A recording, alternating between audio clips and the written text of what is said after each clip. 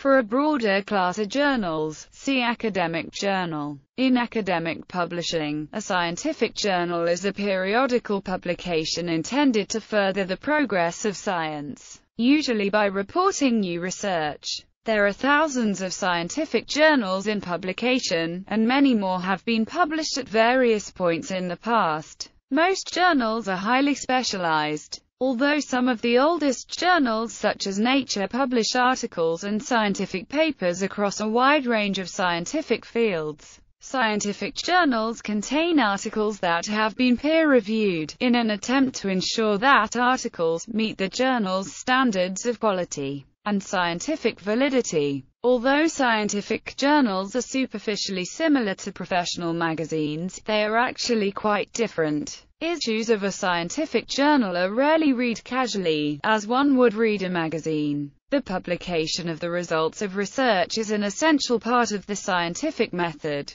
If they're describing experiments or calculations, they must supply enough details that an independent researcher could repeat the experiment or calculation to verify the results. Each such journal article becomes part of the permanent scientific record. The history of scientific journals dates from 1665, when the French journal Des Sçavans in the English Philosophical Transactions of the Royal Society first began systematically publishing research results. Over a thousand, mostly ephemeral, were founded in the 18th century, and the number has increased rapidly after that. Articles in scientific journals can be used in research and higher education. Scientific articles allow researchers to keep up to date with the developments of their field and direct their own research. An essential part of a scientific article is citation of earlier work. The impact of articles and journals is often assessed by counting citations.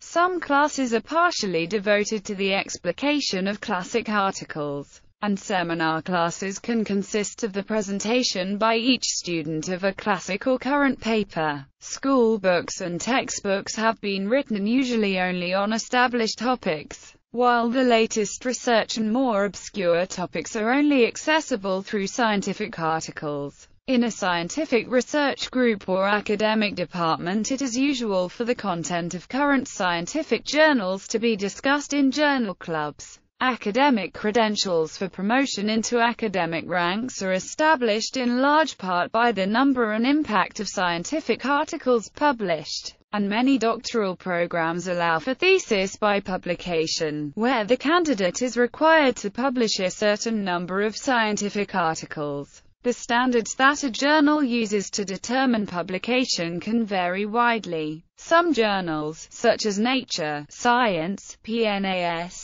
and physical review letters, have a reputation of publishing articles that mark a fundamental breakthrough in their respective fields. In many fields, an informal hierarchy of scientific journals exists. The most prestigious journal in a field tends to be the most selective in terms of the articles it will select for publication, and will also have the highest impact factor. It is also common for journals to have a regional focus, specializing in publishing papers from a particular country or other geographic region, like African invertebrates. Articles tend to be highly technical, representing the latest theoretical research and experimental results in the field of science covered by the journal. They are often incomprehensible to anyone except for researchers in the field and advanced students. In some subjects this is inevitable given the nature of the content. Usually, rigorous rules of scientific writing are enforced by the editors, however, these rules may vary from journal to journal, especially between journals from different publishers. Articles are usually either original articles reporting completely new results or reviews of current literature. There are also scientific publications that bridge the gap between articles and books by publishing thematic volumes of chapters from different authors. Types of articles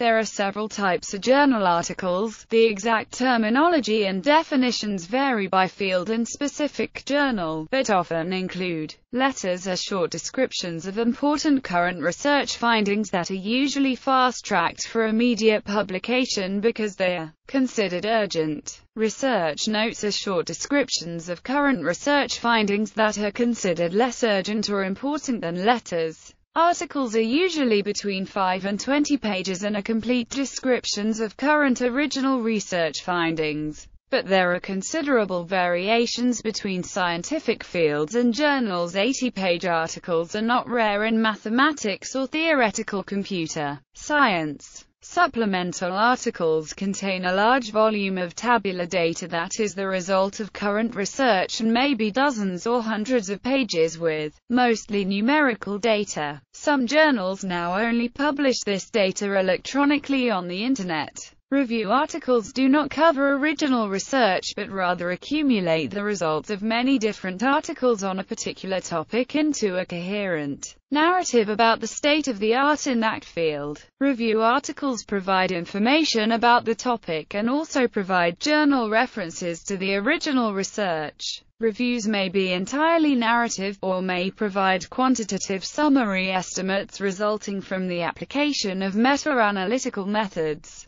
data papers are articles dedicated to described datasets. This type of article is becoming popular and journals exclusively dedicated to them have been established, e.g., Scientific Data and Earth System Science Data. Video papers are a recent addition to practice of scientific publications. They most often combine an online video demonstration of a new technique or protocol combined with a rigorous textual description. Such articles begin with an abstract, which is a one to four paragraph summary of the paper. The introduction describes the background for the research including a discussion of similar research. The materials and methods or experimental section provides specific details of how the research was conducted. The results and discussion section describes the outcome and implications of the research and the conclusion section places the research in context and describes avenues for further exploration.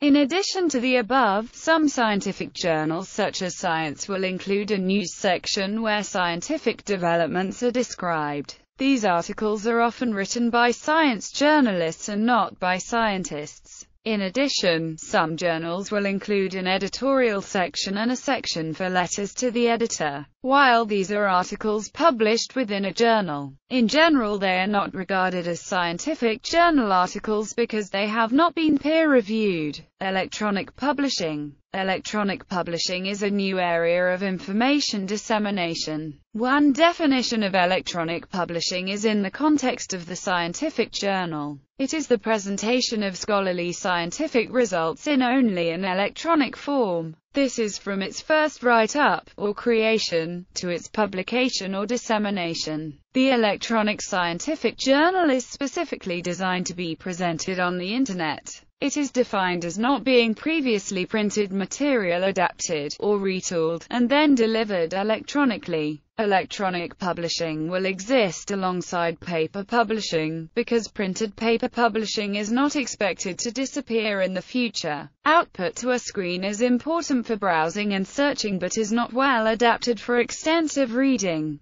Paper copies of selected information will definitely be required. Therefore, the article has to be transmitted electronically to the reader's local printer. Formats suitable both for reading on paper, and for manipulation by the reader's computer will need to be integrated. Many journals are electronically available in formats readable on screen via web browsers, as well as in portable document format PDF suitable for printing and storing on a local desktop or laptop computer. New tools such as JATS and Utopia Documents provide a bridge to the web versions in that they connect the content in PDF versions directly to the World Wide Web via hyperlinks that are created on the fly. The PDF version of an article is usually seen as the version of record, but the matter is subject to some debate. Electronic counterparts of established print journals already promote and deliver rapid dissemination of peer-reviewed and edited published articles. Other journals, whether spin-offs of established print journals, or created as electronic only, have come into existence promoting the rapid dissemination capability, and availability, on the Internet. In tandem with this is the speeding up of peer review, copyediting, page makeup, and other steps in the process to support rapid dissemination. Other improvements, benefits and unique values of electronically publishing the scientific journal are easy availability of supplementary materials lower cost, and availability to more people, especially scientists from non-developed countries. Hence, research results from more developed nations are becoming more accessible to scientists from non-developed countries. One form is the online equivalent of the conventional paper journal. By 2006, almost all scientific journals have, while retaining their peer review process,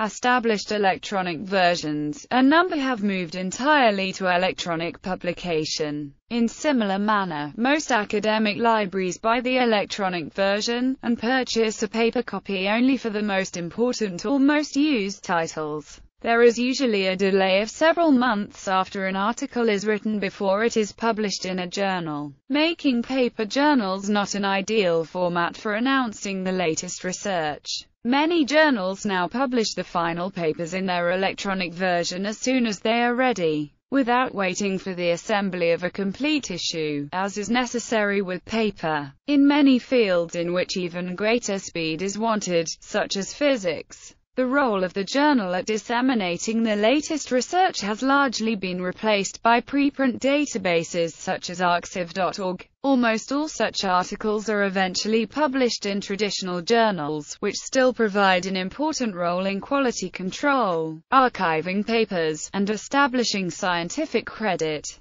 Cost Many scientists and librarians have long protested the cost of journals especially as they see these payments going to large for-profit publishing houses.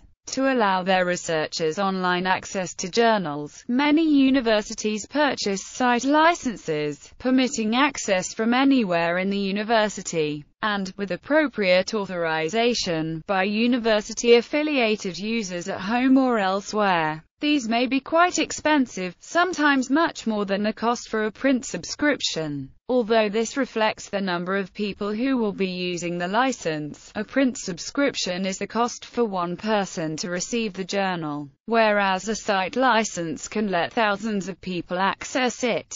Publications by scholarly societies, also known as not-for-profit publishers, usually cost less than commercial publishers but the prices of their scientific journals are still usually several thousand dollars a year. In general, this money is used to fund the activities of the scientific societies that run such journals, or is invested in providing further scholarly resources for scientists. Thus, the money remains in and benefits the scientific sphere. Despite the transition to electronic publishing, the serials crisis persists. Concerns about cost and open access have led to the creation of free access journals such as the Public Library of Science Family and partly open or reduced cost journals such as the Journal of High Energy Physics. However, professional editors still have to be paid, and PLOS still relies heavily on donations from foundations to cover the majority of its operating costs. Smaller journals do not often have access to such resources.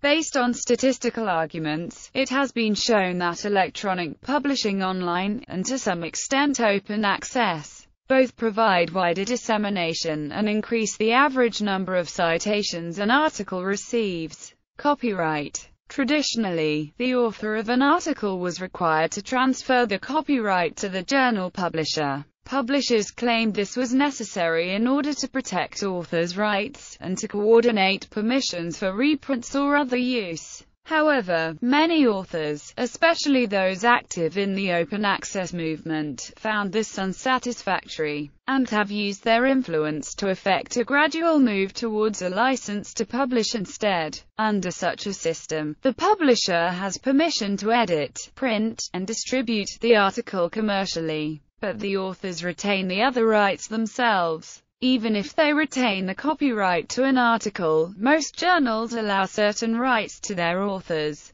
These rights usually include the ability to reuse parts of the paper in the author's future work, and allow the author to distribute a limited number of copies. In the print format, such copies are called reprints. In the electronic format, they are called postprints. Some publishers, for example the American Physical Society, also grant the author the right to post and update the article on the author's or employer's website and on free e-print servers, to grant permission to others to use or reuse figures, and even to reprint the article as long as no fee is charged. The rise of open-access journals, in which the author retains the copyright but must pay a publication charge, such as the Public Library of Science family of journals, is another recent response to copyright concerns.